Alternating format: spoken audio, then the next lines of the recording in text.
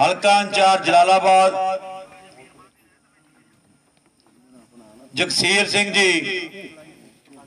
ਬੱਬੂ ਜੀ, ਜ਼ਿਲ੍ਹਾ ਪ੍ਰਧਾਨ ਸਾਡੇ ਫਾਜ਼ਿਲਕਾ ਤੋਂ। ਜੈਸਰਾ ਸੰਧੂ ਜੀ। ਡਾਕਟਰ ਰਾਜ ਜੀ, ਡੀਪੀਪੁਰਾ ਤੋਂ। ਬੂਰ ਸਿੰਘ ਜੀ, ਚੇਅਰਮੈਨ ਸਾਹਿਬ।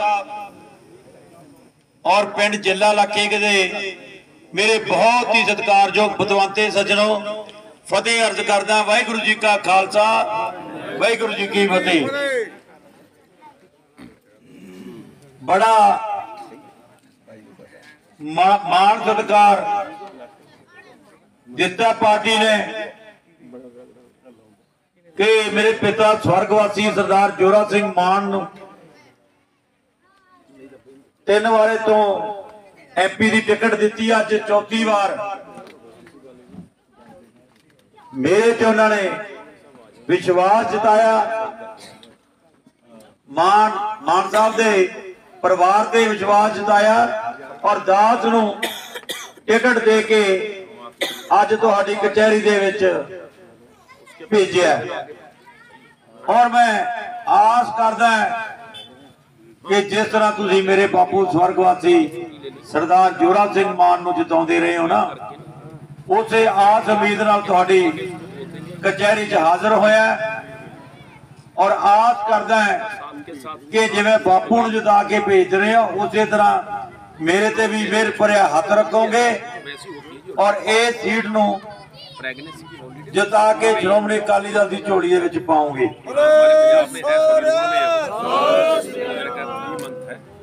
ਔਰ ਮੈਂ ਵੀ ਸੰਗਤ ਨੂੰ ਵਿਸ਼ਵਾਸ ਦਿਵਾਉਣਾ ਹੈ ਨਾ ਨਾ ਨਾ ਨਾ ਕੋਈ ਦਿੱਕਤ ਕਿ ਜਿਸ ਤਰ੍ਹਾਂ ਸਰਦਾਰ ਜੋਰਾ ਸਿੰਘ ਮਾਨ ਤੁਹਾਡੇ ਚ ਵਿਚਰਦੇ ਸੀ ਨਾ ਕੰਮ ਕਰਦੇ ਸੀ ਵਰਕਰ ਦੀ ਬਾਹ ਫੜਦੇ ਸੀਗੇ ਮੈਂ ਉਹਨਾਂ ਦੇ ਪਾਏ ਹੋਏ ਪੂਰਨਿਆਂ ਤੇ ਉਹਨਾਂ ਦੇ ਦਿੱਤੇ ਹੋਏ ਦਿਸ਼ਾ ਨਿਰਦੇਸ਼ ਤੇ ਚੱਲਦਾ ਹੋਇਆ ਆਪਦੇ ਵਰਕਰ ਨਾਲ ਖੜੂੰਗਾ।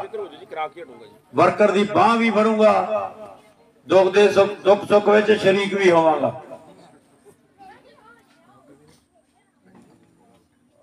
ਵਰਕਰ ਜਿਹੜਾ ਹੁੰਦਾ ਨਾ ਵੀਰੋ, ਪਾਰਟੀ ਦੀ ਰੀੜ ਦੀ ਹੱਡੀ ਹੁੰਦਾ। ਜੇ ਤੁਹਾਡੀ ਰੀੜ ਦੀ ਹੱਡੀ ਕਮਜ਼ੋਰ ਹੈ ਤਾਂ ਸਮਝ ਲਓ ਤੁਹਾਡੇ ਸਰੀਰ ਦੇ ਵੀ ਪੱਲੇ ਕੁਝ ਨਹੀਂ ਇਸ ਲਈ ਵਰਕਰ ਮਜ਼ਬੂਤ ਹੋਣਾ ਬਹੁਤ ਜ਼ਰੂਰੀ ਹੈ।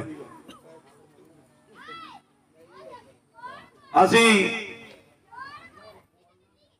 ਵਰਕਰ ਨੂੰ ਮਜ਼ਬੂਤ ਰੱਖਾਂਗੇ, ਤਗੜਾ ਕਰਕੇ ਰੱਖਾਂਗੇ ਤਾਂ ਜੋ ਸਾਡੀ ਪਾਰਟੀ ਹੈ ਮਜ਼ਬੂਤ ਰਵੇ।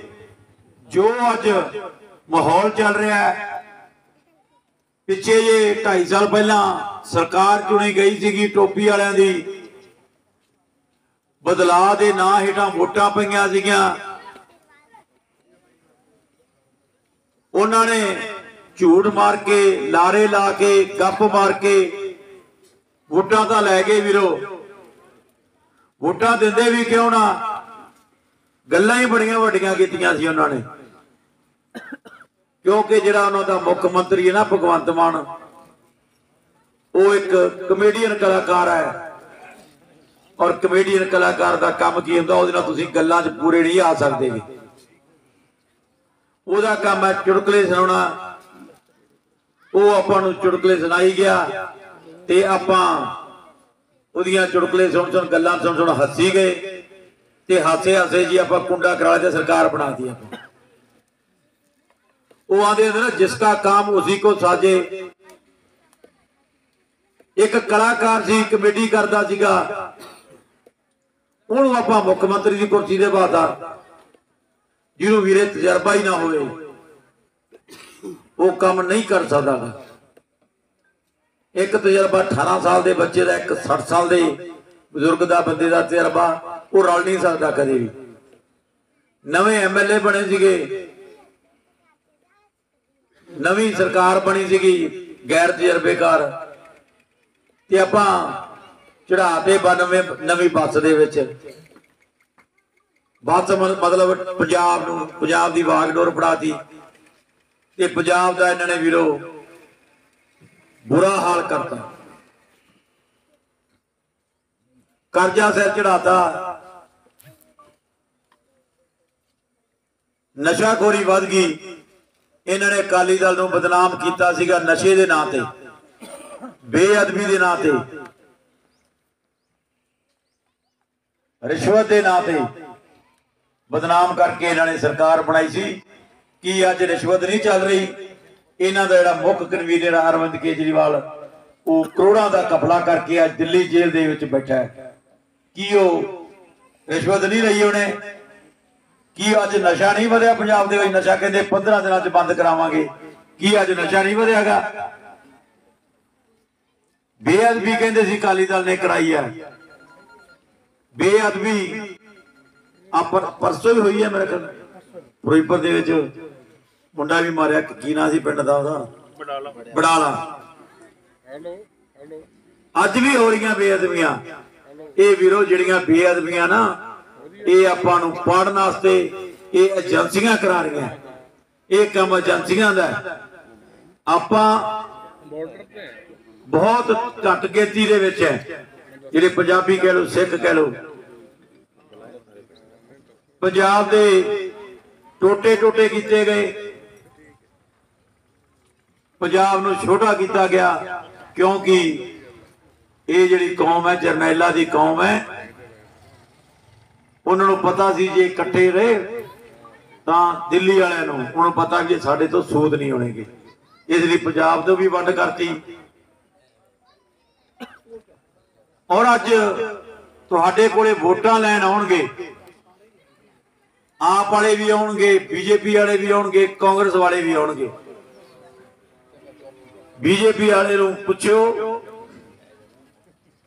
ਕਿ ਤੁਸੀਂ ਕਿਸ ਹੈਸੀਅਤ ਨਾਲ ਵੋਟ ਮੰਗਣ ਆ ਰਹੇ ਹੋ? ਸਾਢੇ 700 ਤੋਂ ਉੱਤੇ ਕਿਸਾਨ ਸ਼ਹੀਦ ਹੋਏ ਆ ਦਿੱਲੀ ਬਾਰਡਰਾਂ ਦੇ ਉੱਤੇ। ਕਿਸਾਨਾਂ ਤੇ ਹਜ਼ਾਰਾਂ ਕਿਸਾਨਾਂ ਦੇ ਉੱਤੇ ਪਰਚਾ ਦਾ ਦਰਜ ਹੈ। ਸੋਨੂੰ ਵੀਰੋ ਪਤਾ ਨਹੀਂ ਜਦੋਂ ਦਿੱਲੀ ਲਾਲ ਕਿਲੇ ਤੇ ਝੰਡਾ ਲਹਿਰਾਇਆ ਸੀ ਨਾ, ਜਿਹੜੇ ਦਾ ਚਲੋ ਉੱਤੇ ਗਏ ਸੀਗੇ 20 50 ਜਣੇ, ਉਹ ਤਾਂ ਉਹਨੇ ਪਰਚਾ ਕਰ ਲਿਆ ਜਾਇਜ਼ ਹੈ। ਪਰ ਜਿਹੜੀ ਸੰਗਤ ਥੱਲੇ ਫਿਰਦੀ ਸੀ, ਉਹਨਾਂ ਤੇ ਵੀ ਪਰਚੇ ਕੀਤੇ ਗਏ ਜਿਹੜੀ ਉੱਥੇ ਸੰਘਰਸ਼ ਕਰਨ ਗਈ ਸੀ ਮੌਤਾਂ ਵੀ ਬੜੀਆਂ ਹੋਈਆਂ। ਤੁਸੀਂ ਬੀਜੇਪੀ ਵਾਲੇ ਨੂੰ ਪੁੱਛਿਓ, ਜਿਹੜੇ ਸਾਡੇ ਕਿਸਾਨ ਸ਼ਹੀਦ ਹੋਏ ਆ, ਤੁਸੀਂ ਉਹਨਾਂ ਦਾ ਕੀ ਮੁੱਲ ਉਤਾਰਦੇ ਹੋ? ਉਹ ਜਿਹੜੀ ਇਹ ਆਮ ਆਦਮੀ ਵਾਲੀ ਸਰਕਾਰ ਹੈ, ਇਹ ਵੀ ਕਹਿੰਦੇ ਸੀ, ਅਸੀਂ ਐਮਐਸਪੀ ਦੇਵਾਂਗੇ, ਭਗਵੰਤ ਮਾਨ ਵੀ ਕਹਿੰਦਾ ਸੀਗਾ। ਇੱਕ ਇਹਨਾਂ ਦੀ ਉਹ ਅਨਮੋਲ ਗਗਨਮਾਨ ਬੀਬੀ ਆ, ਚੁਟਕੀ ਵਾਲੀ। ਕਹਿੰਦੀ ਸੀ, ਮੈਂ ਮਾਰ ਕੇ ਚੁਟਕੀ ਦੇ 5 ਮਿੰਟ ਚ ਐਮਐਸਪੀ ਦੇਵਾਂਗੇ। ਕਿੱਧਰ ਗਈ? ਤੇ ਆਉਂਦੀ ਅੱਜ ਆਪਾਂ ਨੂੰ ਉਹਨੇ ਤਾਂ ਮਾਫੀ ਮੰਗ ਲਈ। ਕਹਿੰਦੀ, ਮੈਂ ਕਰ ਬੈਠੀ ਗਲਤੀ ਤੇ ਮੇਰਾ ਖਿਹੜਾ ਛੱਡੋ। ਪੁੱਛਣ ਵਾਲਾ ਵੀ, ਬੀਬੀ, ਤੂੰ ਤਾਂ ਗਲਤੀ ਮੰਗ ਕੇ, ਮਾਫੀ ਮੰਗ ਕੇ ਖਿਹੜਾ ਛੜਾ ਲਿਆ। ਤੇ ਜਿਹੜਾ ਪੰਜਾਬ ਦਾ ਬੇੜਾ ਗਰਕ ਹੋਇਆ ਸੂਬੇ ਦਾ ਬੇੜਾ ਗਰਕ ਹੋਇਆ, ਜਿਹੜਾ ਕਰਜ਼ਾ ਚੜੀ ਜਾਂਦਾ ਇਹਦਾ ਵਾਲੀ ਵਾਰਸ ਕੌਣ ਹੈ ਇਹਦਾ ਦੇਣ ਕੌਣ ਦੇਊਗਾ? ਸਮਾਂ ਬੜਾ ਹੋ ਗਿਆ, ਅੱਗੇ ਹੀ ਲੇਟ ਹੈ। ਦਾਸ ਦੀ ਇੰਨੀ ਕੁ ਹਾਜ਼ਰੀ ਕਬੂਲ ਕਰਿਓ। ਦੁਬਾਰਾ ਫੇਰ ਹਲਕਾ ਬਹੁਤ ਵੱਡਾ ਹੈ। 9 ਐਮਐਲਏ ਹਲਕੇ ਪੈਂਦੇ ਆ। ਹਲਕਾ ਤਾਂ ਇੱਕ ਹੀ ਚਲਾਉਣਾ ਔਖਾ ਤੇ ਤਾਂ 9 ਐਮਐਲਏ ਹਲਕੇ ਆ। 12 1300 ਪਿੰਡ ਹੈ, ਸ਼ਹਿਰ ਵੀ ਹੈ ਵਿੱਚ। ਇਸ ਲਈ ਦਾਸ ਦੀ ਇੰਨੀ ਕੁ ਹਾਜ਼ਰੀ ਕਬੂਲ ਕਰਿਓ।